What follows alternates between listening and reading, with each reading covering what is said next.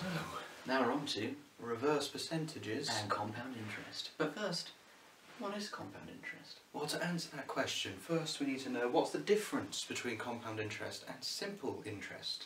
Alright, so if we have a number, say £100, and it increases by 5% every year. Uh, and for this one, we'll do simple. Simple interest means every if you get five percent per year, it means every year you get five percent of a hundred. Yeah. So you put in a hundred. The first time you're going to get five percent more of that. So you'll in the second year, you'll have £105 in total. hundred and five pounds. And then the next year, it will be 110 because it keeps basing it over your first figure. So that'll be hundred and ten pound. You're just adding five pound on because that's five percent of a hundred, every time. But if that was compound interest, and that would be different. it works differently. It doesn't just work off the original value you put in.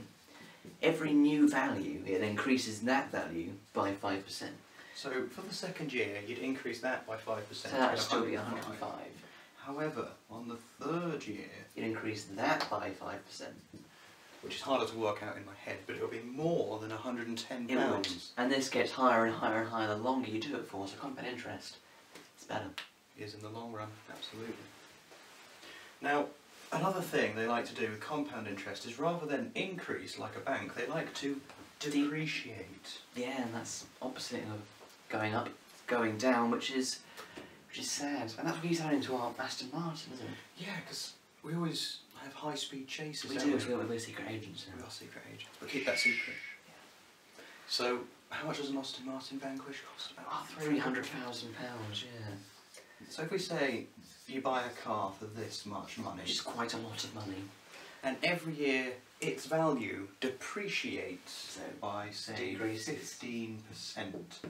Every year it becomes fifty percent less worthy of the full price. So that's what actually happens with cars. Yes. And this will be compound interest. Yes, this is all compound in this chapter. You do what you normally do. You Yeah. divide the percentage by hundred, So you want to get it to a normal number, well, a decimal. a decimal which is 0.15. Now, this is where it gets a bit different. Normally, if you want to, if this increased by 15% compoundly, you would add that to 1 and you'd times 300,000 by 1.15 to see how much it increased. But now it's depreciating, what do we do? Well, you have to take it away from 1.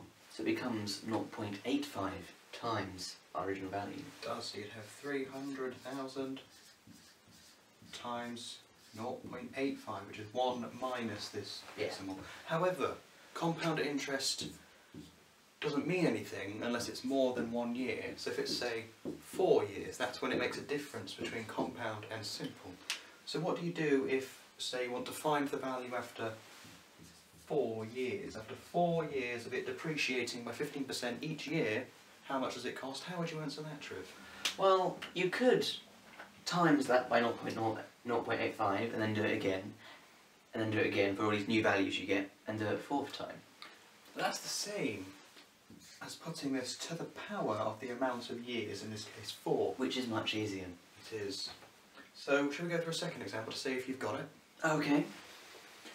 Think of something I could buy that's quite costly and could depreciate in value. Hmm. Many things. I think quite expensive coffee's not very expensive, is it? But a coffee machine, A coffee machine, yes, and that would get worse over time as well. say it costs £500 to buy this coffee machine. Cafe one's nice. Yes, very good. And it depreciates by 5% every year or per annum. How much does it cost after 10 years? So, first step, we convert this into a decimal. It's always the first Five step. in over expression. 100 equals 0.05.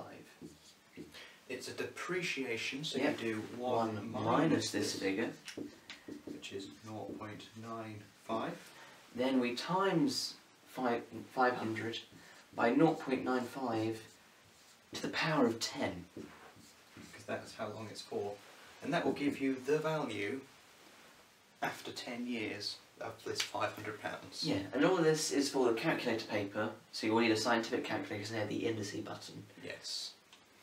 Yeah. So that's this chapter done, I think. I think it is, yeah. Shall we should just mention, just in case, because we haven't mentioned it in a few videos now. If you have any questions, because it's starting to get into the A stuff a lot more now, It is, yeah, it's the B grade stuff, but it is rising.